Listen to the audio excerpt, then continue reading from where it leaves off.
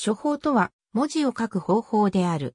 その三大要素として、筆法、マカ結構法、淵章法がある。中国では書道という言葉は使わず、書学という語を用いている。書学とは書の形式である書法を修正したものである。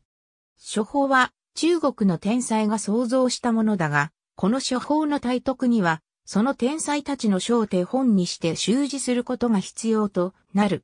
書法の要素には、筆法、マカ結構法、淵章法がある。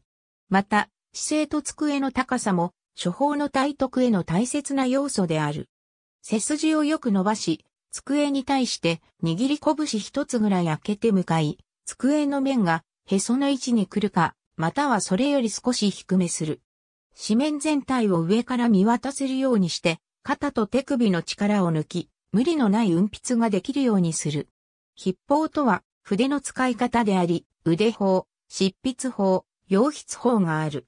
腕法腕法とは、腕の構え方である。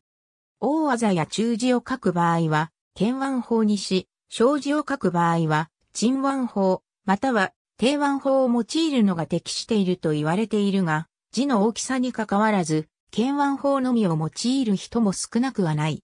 筆は自分の目の前に来るようにする。執筆法走行法執筆法とは筆の持ち方である。大技や中字を書く場合は、走行法にし、小字を書く場合は、単行法を用いるのが適していると言われているが、字の大きさに関わらず、単行法のみや走行法のみを用いる人も少なくはない。筆を持つ位置は、解消を書くときは、筆管の下部を、行書を書くときは中ほどを、総書を書くときは上部を持つのが良いとされているが、これもかなり個人差がある。筆は、ペンや鉛筆などの硬筆のように斜めに寝かせないで、ほぼ垂直に立てて構え、手に力が入らないように心がけ、状態で調子を取りながら、指と手首を固定して、肘から腕全体を大きく旋回させて、肩で書く。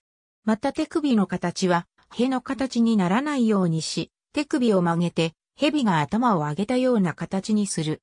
洋筆法用筆法とは、点画を書くときの筆の用い方や筆使いを言う。運筆法も含む。主な洋筆法、運筆法は以下の通り。基本気筆周筆応用感化結構法とは、解消主体とした造形理論のことで、点画の感覚や点画の組み合わせ方を考えて、釣り合いよく造形する方法を言う。マカとは、点画と点画の間の開け方のこと。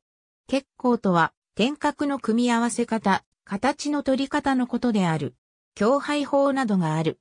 淵章法とは、文字の配置具合により、作品全体の構図、構成を決め、変化と調和のある書作品にすることを言う。淵法と章法に区分される。ありがとうございます。